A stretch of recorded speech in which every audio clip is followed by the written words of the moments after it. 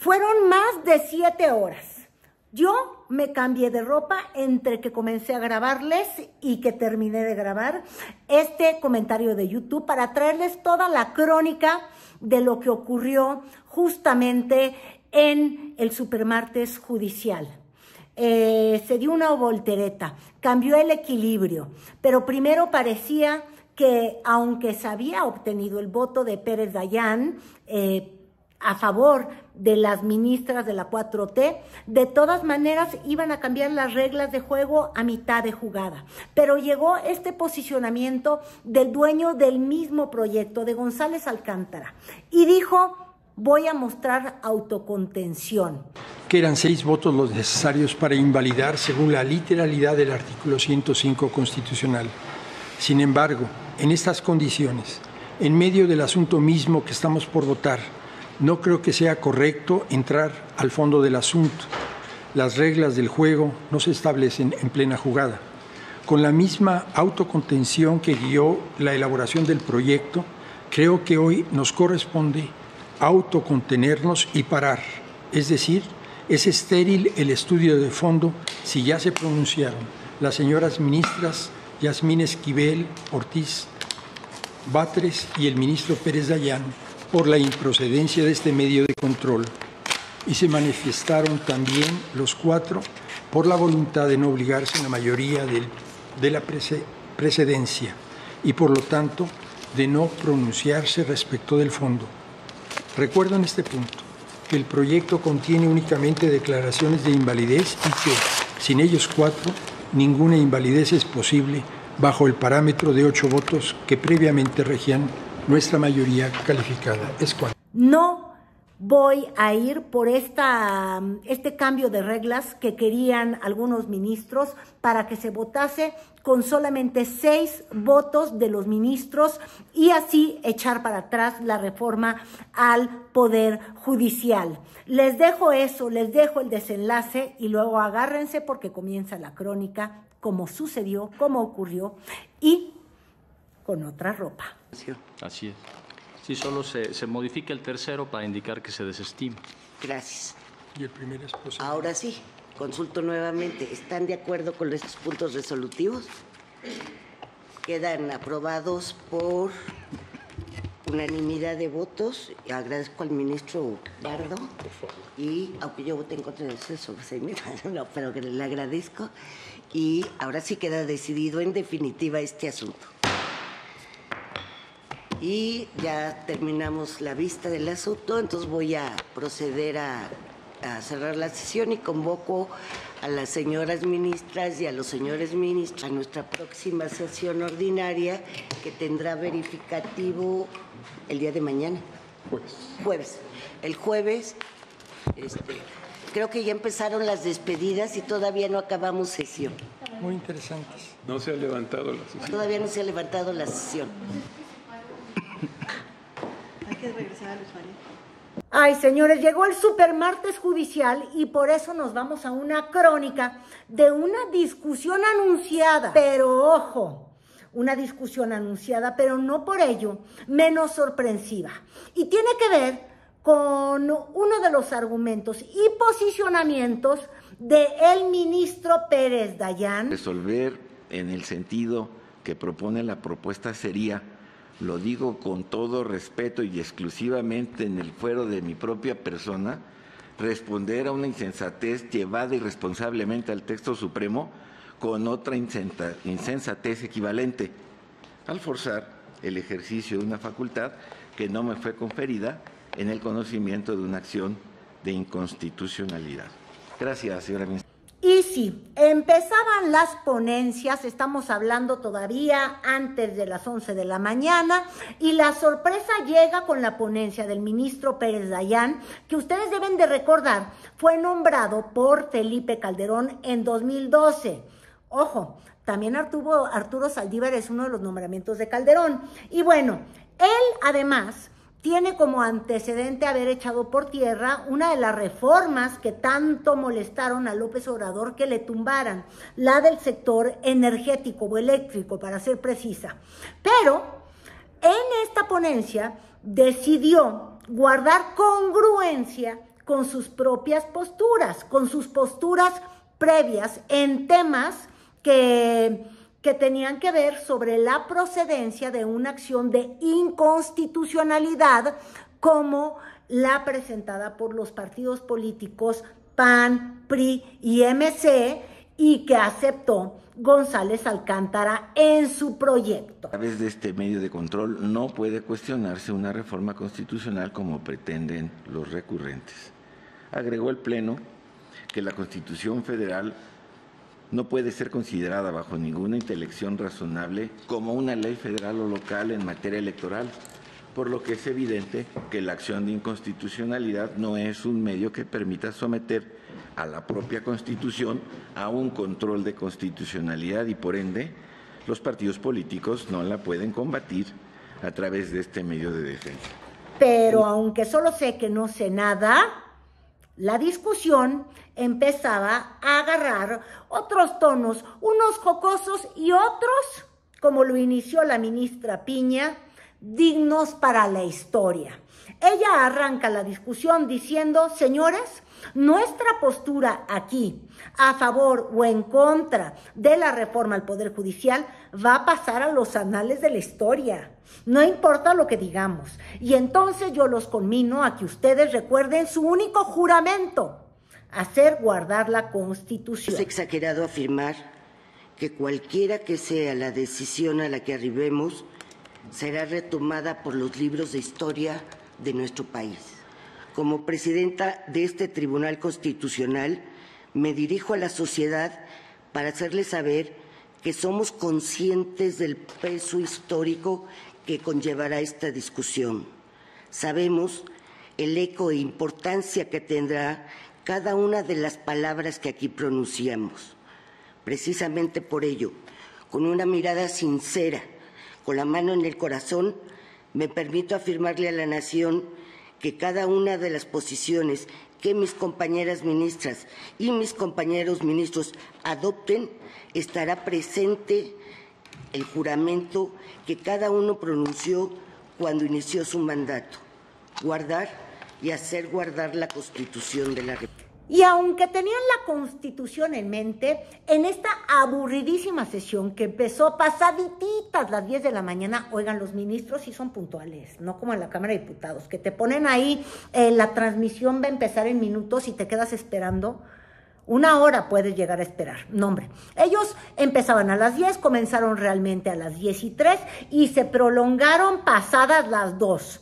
Pero déjenme compartirles que con la constitución completamente en su mente, eso no les quitó del presente sus piques, sus desavenencias. Y de hecho les quiero decir, sus repugnancias, porque el enfrentamiento que se dieron, el ministro que ya se va, sí, Luisa María, Luis María Aguilar y la autodenominada ministra del pueblo, Lenia Batres, ay, qué mal se caen, se odian. Y el ministro Aguilar hasta se ve, o sea, en su trato, ay, le hace fuchi fuchi. Yo diría, de plano, que es hasta relativamente mamón, porque de bruta no me la bajaba. Pero así empezaban los pleitos, vean ustedes. Yo voy a hablar con toda mesura, porque no creo que estemos en un mitin político para estar alzando la voz tratando de que las ideas se sobrepongan a las razones por el simple hecho de tener la voz más alta. Yo creo que, como se han afirmado una serie de circunstancias que creo que están faltando a la técnica del estudio. Supongo que dentro de nuestro margen de libertad de expresión podemos manifestar pasión por la justicia. Eh, no me mueve la indiferencia ante argumentos falaces, ni puedo ser complaciente con criterios que son a todas luces injustos y que es importante que podamos distinguir con mucha claridad. Muchas gracias. Primero le dijo, ay, usted viene aquí con la, con la jerga de la grilla, aquí a mi corte donde nosotros no hacemos política, solamente estamos sugiriendo una salida política a un conflicto que creemos que va a ser constitucional. Pero bueno, ya luego desde la arrogancia del desdén y de quien sí supongo está muy formado y tiene muchos años en la corte, por eso él dijo, aquí experiencia mata a tu pueblo, ¿eh? porque yo tengo más tiempo acá. Después de decirle que no entendía lo de las remuneraciones y de que lo de ella era un mitin político y que ella respondió que lo que tiene es mucha pasión, dijo, no me anden malcitando. Pero es que ahí no iba para el asunto, porque se siguieron de frente, miren. No sabía que estábamos eh, en examen a lo que yo pongo como si yo fuera el examinado y no el proyecto.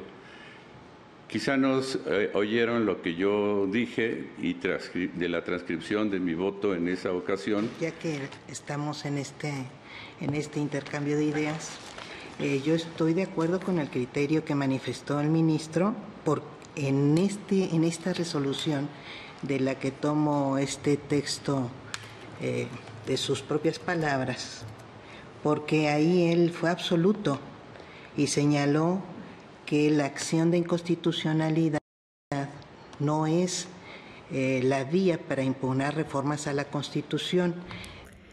Mire, este roce eh, eh, entre estos dos ministros, la del pueblo y el de la experiencia o el del el yo no sé cuá, pues déjenme decirles que llegó al punto en el que de plano ella le dijo, óyeme, olienia, olieniafrénica, es decir, eh, oligofrénica, de verdad así le quiso decir. Yo ya de plano voy a leer mis ponencias. Trataré de leer esto para ser claro, para que eh, desgraciadamente algunos no me entienden, pero voy a tratar de leerlo y así sea quizá más claro.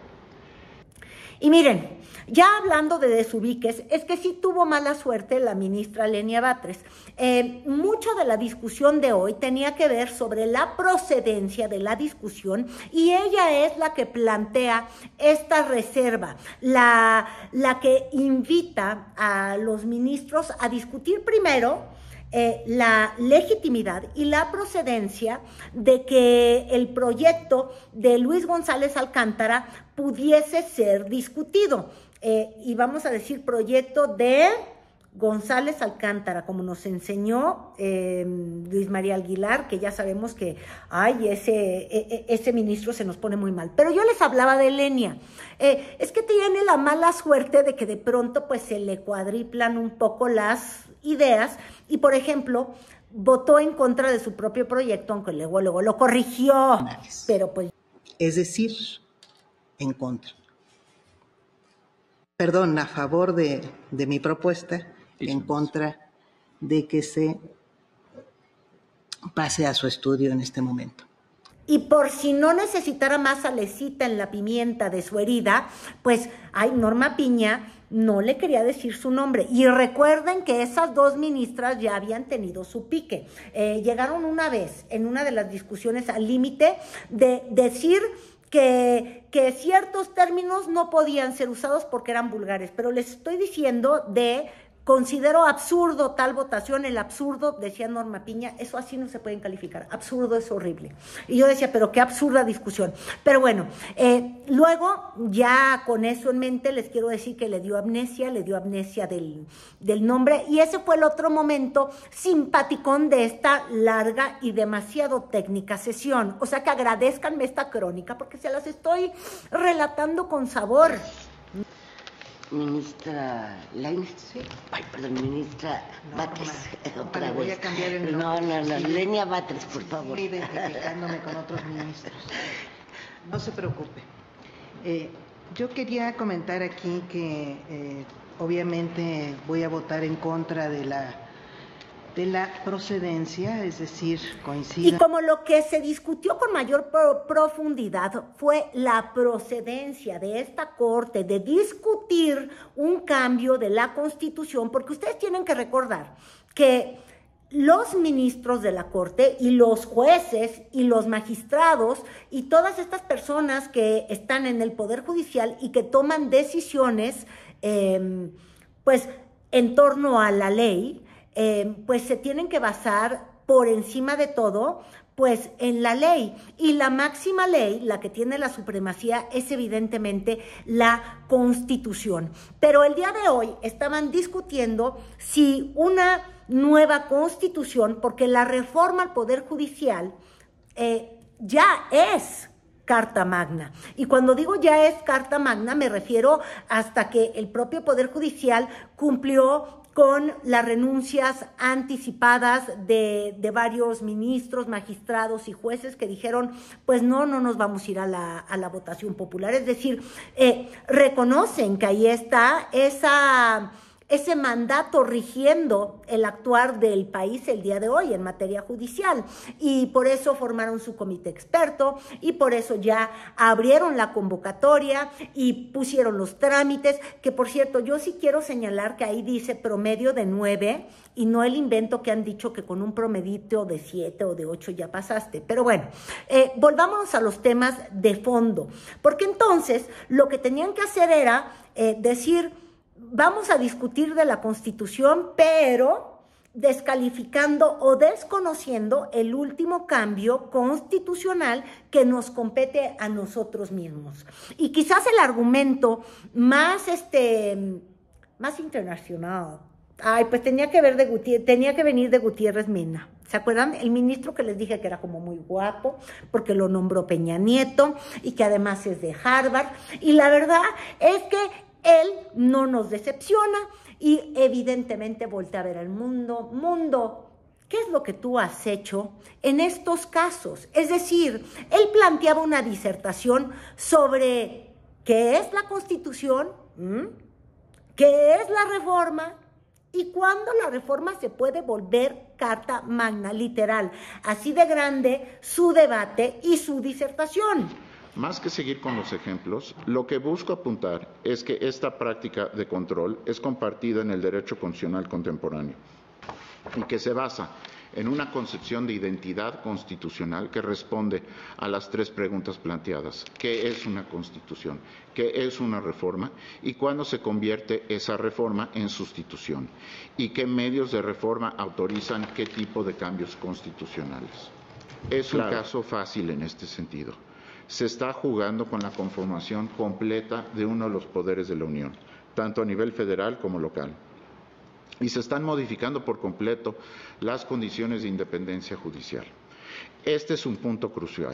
Primero, porque las garantías de independencia judicial delinean la forma en que el Poder Judicial interactúa con los otros poderes. Y luego de mucho disertar, lo que hay que decir es que él llegó a la opinión de que la Corte es más relevante que el poder reformador. La opinión de la Corte está por encima de lo que decida el, el Congreso de la Unión con 17 congresos estatales reformar. Dice que no hay cláusulas pétreas, este término se usó mucho y les voy a decir en qué otra ponencia se usaron las cláusulas pétreas, eh, pero bueno, dijo que lo que hay es sustitución de la constitución y que hay de cambios a cambios o de sustituciones a sustituciones y que él considera que la del poder, eh, la del poder judicial, es decir, la reforma que sustituye la manera de actuar del poder judicial,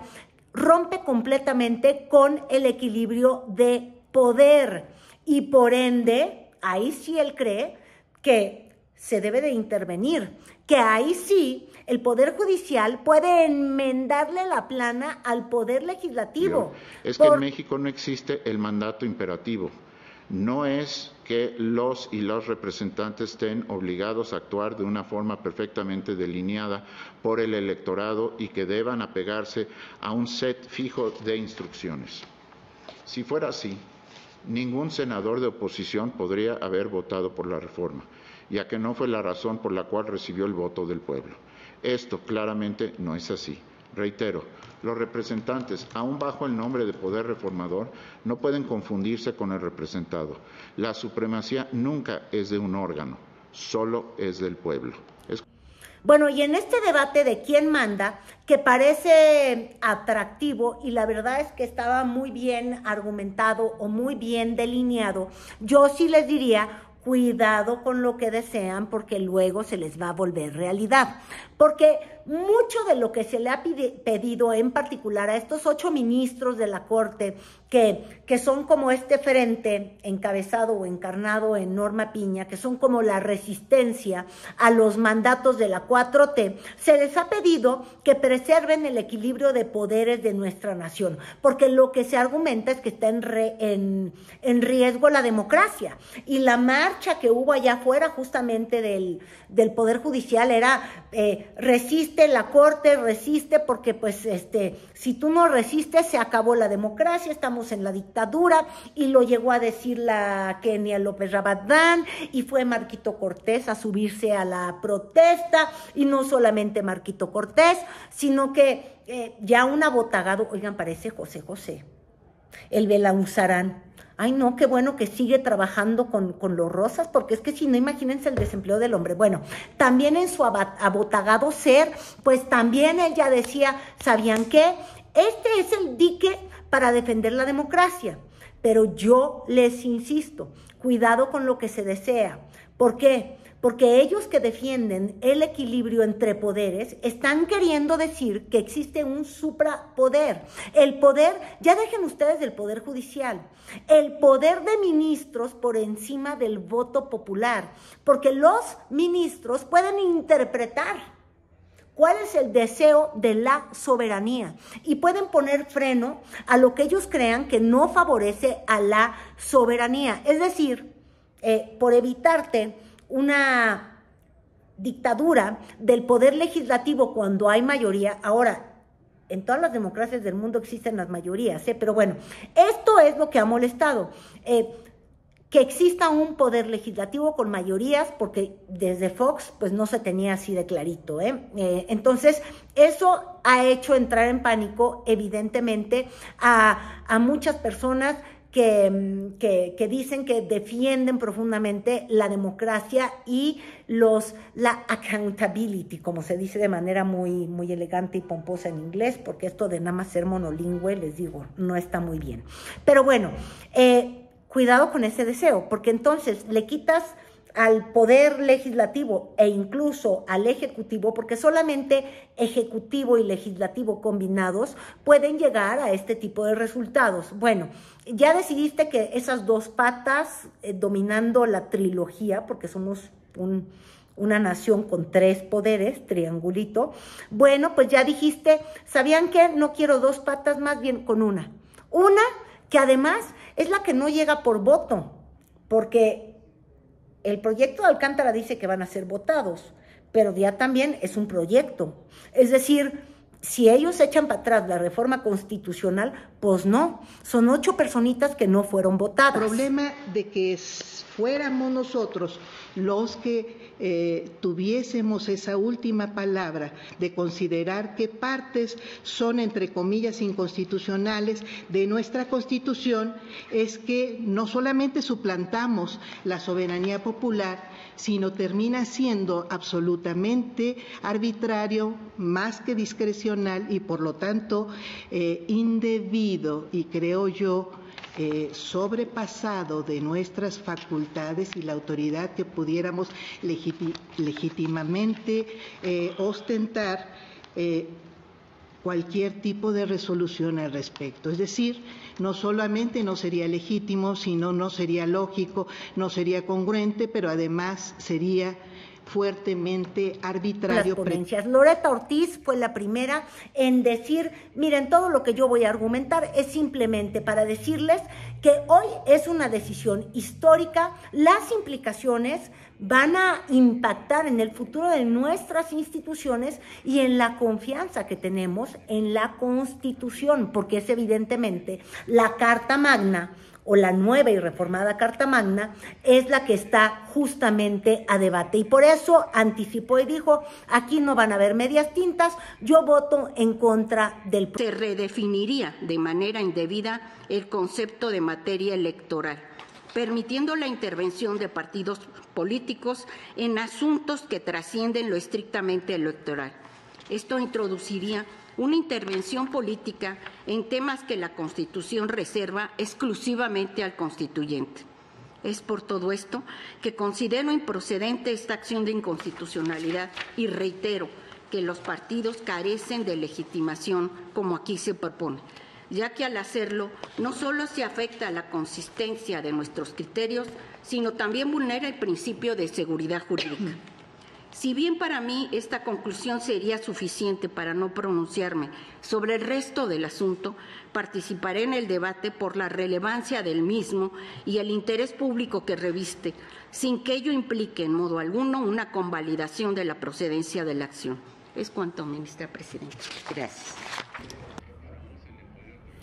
Quien propuso el proyecto evidentemente argumentó a favor de la legitimación en temas de procedencia, es decir, los partidos políticos sí tienen derecho a promover estas acciones de anticonstitucionalidad o inconstitucionalidad y eh, dijo, no se hagan bolas, han habido otros casos, pero yo estoy a favor de ello. Y. Por lo anterior al día en que se publicó la apresurada reforma constitucional, esto es, el 31 de octubre, ya existía un cierre de instrucción desde el 30 de octubre y, adicionalmente, el proyecto ya era de su conocimiento desde el día 28 de octubre.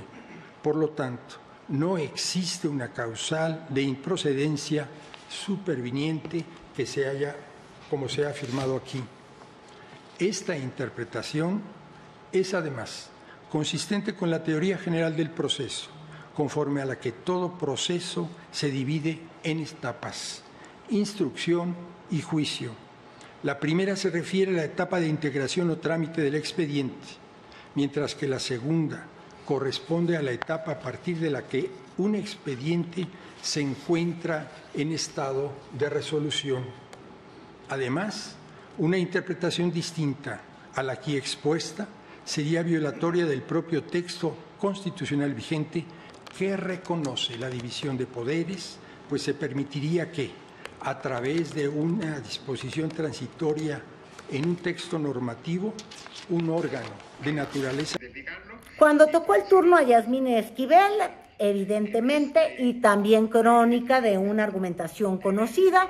También dijo que ella estaba en contra de la discusión y de la legitimidad de los partidos políticos para promover este tipo de acciones en contra de una reforma que ya es la carta magna, la carta escarlata, la no sé qué. Aun cuando nos animen mejores propósitos e inclusive nuestras discrepancias con las modificaciones que consideremos, estamos invirtiendo el orden lógico de las cosas, ya que la fuerza moral y legitimidad que tenemos como Tribunal Constitucional nace de lo que con toda certeza y claridad nos autoriza la Constitución y en forma concominante del respeto irrestricto de los límites que ha marcado y de aceptar sin reservas lo que nunca como Corte se nos ha otorgado. Esperemos prudentemente el día en que la Constitución nos autorice juzgarla no nos anticipemos nosotros. Argumentos fueron, argumentos regresaron, ya hacia el final de la discusión. Decide tomar la palabra el ministro Laines, perdón, que dijo, me voy a ir guardando porque yo quiero llegar solamente al tema de la legitimidad. Esa es la discusión en la que me quiero meter y se cita a sí mismo y dicen, si me van a citar, no me ande citando mal. Ya ven, eso fue un tema muy reiterado. O no había sido necesario, pero ya estamos en él. Entonces, eso en primer lugar. Y en segundo lugar, si somos jueces constitucionales sabemos que muchas de nuestras decisiones se toman en el contexto político y social del momento y esto es inevitable. Efectivamente, todos los precedentes, como esos que se mencionan, no olvidemos que fueron emitidos en el contexto político de lo que se llamó gobiernos divididos. Es decir, que durante más o menos 30 años, 21 años, de 1997 a 2018, ninguno de, de los partidos políticos tuvo mayoría, ni siquiera absoluta, para modificar una ley en el Congreso, ya no digamos una mayoría calificada, lo que propiciaba lógicamente la negociación, voluntaria o no, de cualquier reforma legal. Y aunque el proyecto del ministro González Alcántara no contempla o no argumenta en contra del proceso legislativo que llevó a esta reforma, eh, en las ponencias de Pardo y luego finalmente de, de, de, de Ahí sí se habla del proceso, de la forma express, de que no le dio tiempo de leer nada ni ni más a los eh, congresos estatales. Ya estaban votando a favor la reforma cuando no había sido casi casi que redactada y se meten en el tema del proceso, lo cual está completamente fuera del propio proyecto. Pero bueno, si, si hay que mm, argumentar en contra de cómo llegó esta reforma, ellos plantean que fue una reforma, ya lo vimos con, con el ministro de Harvard, digo yo, eh, Gutiérrez Mena, eh, que dijo que si agarraron este, senadores que no habían sido votados directamente, entonces no gozan de la representatividad.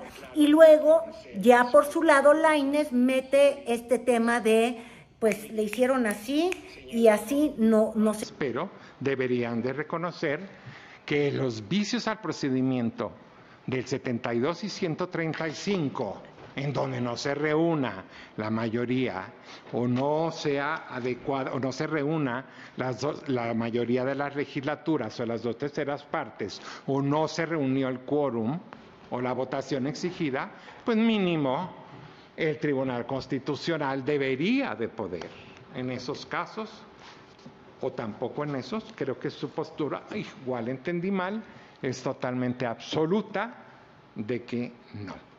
Y Yasmín Esquivel le dice, oiga, ministro Laines, tampoco se haga porque usted, usted eh, se está desdiciendo de lo que dice que dijo. Pero él le dice, justo por eso, la verdad es que uno se extravía. Y en esa nunca se impugnó la constitución sino fueron normas secundarias, por lo tanto, este precedente no es aplicable. Este fue, este que señala, se impugnó un decreto de reformas de la Ley de Seguridad Nacional, el Código Nacional de Procedimientos Penales, la Ley de Delincuencia Organizada y el Código Fiscal de la Federación. Nunca se impugnó la Constitución. Entonces creo yo que sí hay un cambio de criterio en sus precedentes. ¿Es cuánto, ministra? Gracias. Ministra, perdón que tenga que hacer estas aclaraciones. Por eso voté en contra del proyecto, ministra, porque precisamente no había una impugnación a la Constitución, pero el ministro ponente nos propuso que se revisara por convencionalidad el artículo 19. Por eso en lo que le leí dije no solo nos está proponiendo eh, el tema de la inconstitucionalidad de esas reformas legales, sino se está proponiendo que este tribunal entre a la convencionalidad. Eso es exactamente lo que expresé. Perdón, tenía que aclarar. Gracias, ministra. Exactamente, la ley no prohíbe, es más, lo, prevé el cambio de criterio siempre y cuando se señale la justificación de ese cambio de criterio y lo permite. No es, no es nada. O sea, aunque se quiera manejar así como, como tú ya lo dijiste, te aguantas, pues no, no necesariamente. Pues y justo después ya le dan la palabra a Alberto Pérez Dayán, eh, el que ya en redes sociales empiezan a llamar este, algunos columnistas el Judas, como Yunes de la Corte, porque claro, se necesita eh, una mayoría calificada también en la Corte, el voto de ocho ministros para echar para atrás esta reforma constitucional. Y luego él toma la palabra y habla justamente de que uno puede cambiar de opinión, de la libertad de las ideas, y así fue su argumento. También manifesté la libertad que todos y cada uno de nosotros tenemos para cambiar de criterio. Las razones que expresé en razón de los precedentes me siguen a mí convenciendo. De ahí que, insisto, cualquiera de nosotros puede cambiar libremente su criterio y a partir de ello votar en consecuencia.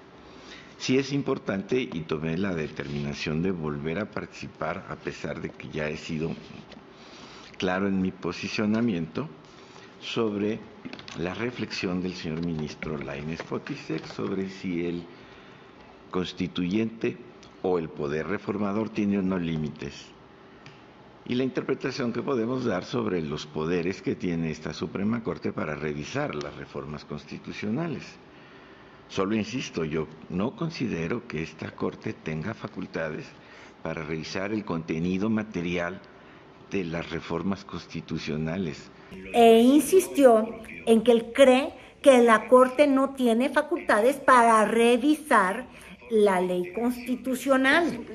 Y ya con la última palabra, eh, y ahora la estoy escuchando, eh, hizo sus alegatos la ministra Norma Piña, que dijo, aquí teníamos que respondernos con toda claridad y sin darle muchas vueltas al asunto, si es procedente o no em, hablar sobre la inconstitucionalidad de una reforma constitucional. Y así comenzó a delinear eh, su propio pensar y su respuesta. Es claro que eh, esto resulta incompatible con un Estado constitucional y democrático pues nos obligaría a aceptar lo que para mí es inaceptable, que una constitución democrática como la nuestra permite que un conjunto de órganos creados por ella misma se sirvan de mecanismos democráticos para destruir a la propia democracia y a la constitución y a la constitución que es su fundamento. En definitiva, que la constitución prevé los mecanismos de su propia destrucción que avale el suicidio de la democracia. Eh, traigo bastantes este, argumentos, pero en mucho se comparto lo que eh, comentó el ministro Laines y lo que comentó el ministro Pardo de cómo ha ido avanzando nuestra doctrina y nuestros criterios a partir de las cuestiones que hemos estado analizando y el sometimiento, el, reconocimiento, porque no sometimiento, el reconocimiento de la jurisdicción eh, de la Corte Interamericana y cómo nuestra constitución y la discusión seguía más allá de las 3 de la tarde y ahí fue cuando después del voto que se dio sobre la procedencia, ya entró pues un as bajo la manga realmente, ¿eh? y era sobre discutir si para declarar válida o no válida una reforma se necesitan seis u ocho votos de los ministros. Entonces, lo que dicen es que para la invalidez solo se requieren seis.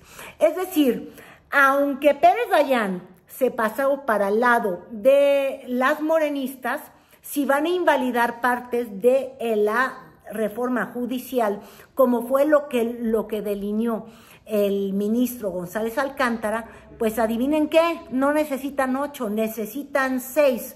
Es decir, lo tenían todo fríamente calculado, pero no, aunque se llenaron de esperanza, sobre todo en las calles y quienes estaban en contra de la reforma al Poder Judicial se quedaron esperando porque el propio ministro González Alcántara le puso el martillazo y el fin a su proyecto.